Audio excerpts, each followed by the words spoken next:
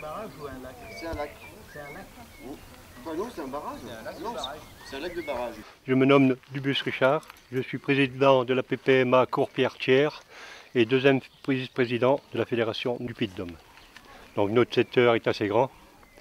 Hein, euh, on part de la Renaudie pratiquement jusqu'à euh, Noala.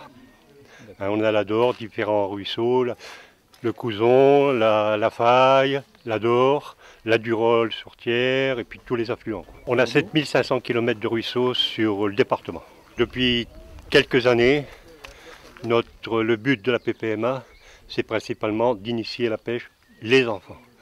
Parce que les enfants, c'est la- c'est l'avenir de la pêche. hein. Et pour y inviter, on a, on a fait plusieurs parcours. On a fait un parcours sur le Couson qu'on appelle parcours découverte. Et on, lâche régulièrement des truites pour euh, justement amener les pêcheurs qui ne connaissent pas de pêcher la truite, euh, qui prennent du poisson, parce qu'il faut qu'ils prennent du poisson. Et sur Thiers, nous avons fait aussi un carpodrome fédéral. Donc, c'est premier- c'est le seul dans le département qui n'est pas privé. Donc, toute personne qui vient de, nord de la France pourra pêcher dans cet état.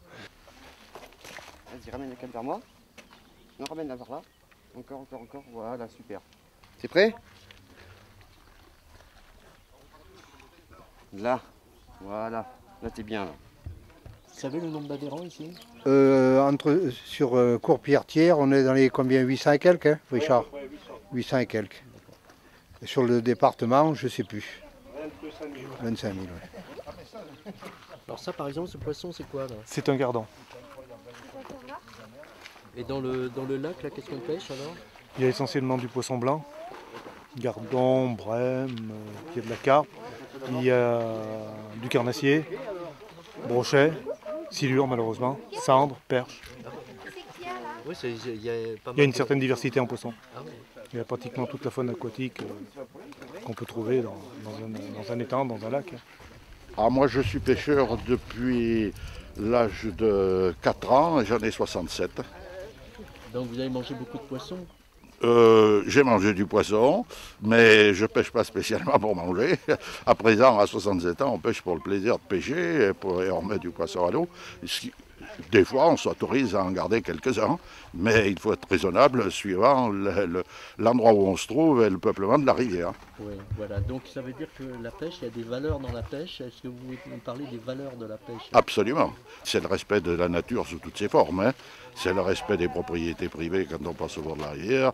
C'est le, le respect de, de l'eau. C'est le- c'est- c'est tout ça les valeurs de la pêche.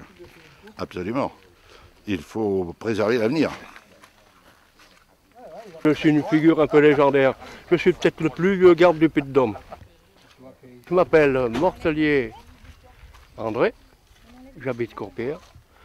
Je suis garde de pêche depuis 78 à la PP de Courpierre-Thiers. Hein Oui. Et, bon, le reste, j'ai un certain âge, mais ça ne s'arrête pas. Et alors, euh, c'est ma passion. D'accord.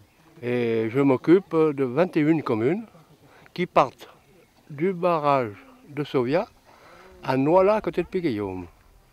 Voilà, on fait beaucoup de prévention, pas trop de répression. On tâche moyen de faire son travail le plus possible et du mieux possible également. Voilà. Comment, Euh. comment on devient un garde-pêche? Alors, on devient garde-pêche au départ. Il faut déjà aimer la pêche. Après, on se présente à une APP. Le président de l'APP, euh, on lui demande où il vous nomme. Moi, ils m'ont nommé. Et après, on fait des formations. Et alors après, vous recevez euh, votre feuille pour aller prêter serment au greffe du tribunal de tiers, de tiers pour avoir l'agrément. Voilà comment qu'on devient garde.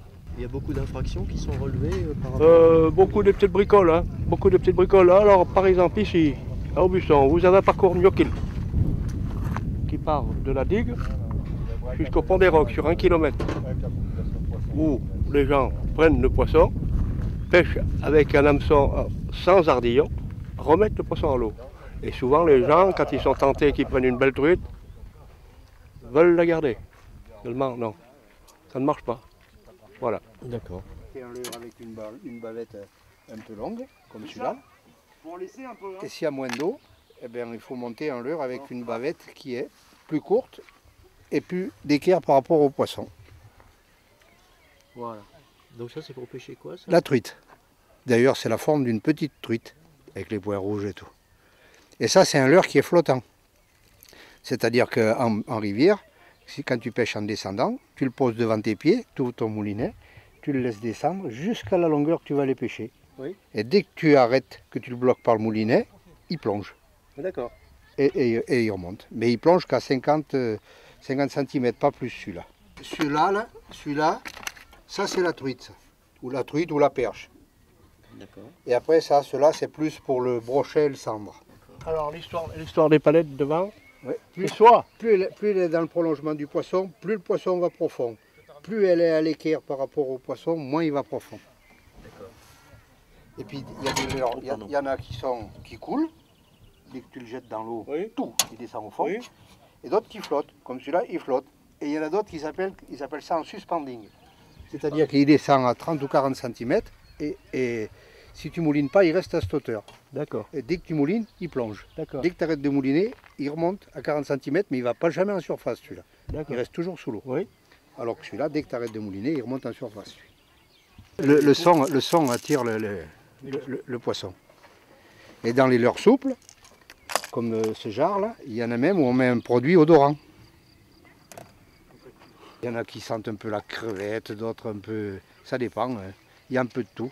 Ils- ils- ils les font spécifiques pour truite, cendre, brochet. Les lignes. Les plombs, on les met Sur le au-dessus du bas de ligne. au-dessus du panier. Faut pas les mettre sur les À la rigueur, tu peux mettre ce qu'on appelle le plan de touche Voilà. sur le bas de ligne. Je suis Alain Tarasson, euh, guide de pêche. Euh, je travaille depuis 5 ans sur le site du lac d'Aubusson. Il y a une partie euh, euh, guidage qui, euh, qui mêle à la fois euh, le travail par exemple avec les scolaires et aussi le travail pour les particuliers, c'est-à-dire du guidage particulier euh, selon leurs souhaits. Et puis en parallèle à ça, il y a l'école de pêche, euh, les écoles de pêche plus précisément. Il y a une école de pêche sur Thiers et une petite école de pêche qui existe aussi sur le pays de Courpierre avec quelques élèves et on fait des activités une fois par semaine sur toute l'année. Donc euh, le volet guide de pêche, euh, euh, pour ce qui est du particulier, voilà, je peux emmener quelqu'un qui a le souhait de découvrir par exemple la pêche à la mouche. On va l'amener sur une demi-journée, une journée ou voire plus. On organise le, on organise le séjour et, et cette personne, on va l'amener au bord de l'eau et lui faire découvrir la pêche à la mouche. Ça, c'est un album pour les petits pêcheurs qui est édité par la Fédération nationale. Et on donne ça aux enfants, c'est principalement pour les petits. hein. Principalement pour les petits. Et vous avez tous les, différentes sortes de poissons. Voilà. L'Auvergne est- si on veut être un peu plus large, c'est le Massif central. On a une des plus belles régions de, France, voire d'Europe.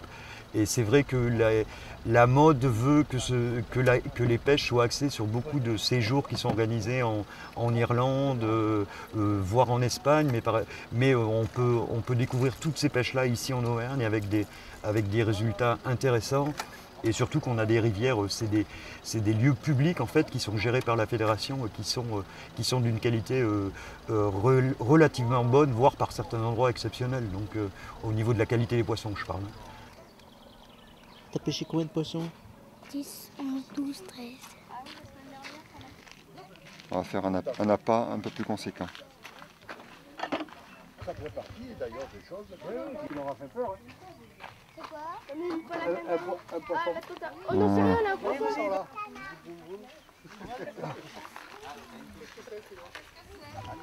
lorsque vous pêchez, si ça mord plus avec euh, un asticot, vous en rajoutez un, deuxième, un troisième, histoire de faire un, gros appât.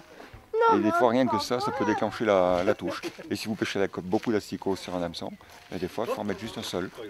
Vous, vous changez, vous déplacez vos plans aussi. Vous montez, vous descendez vos plans.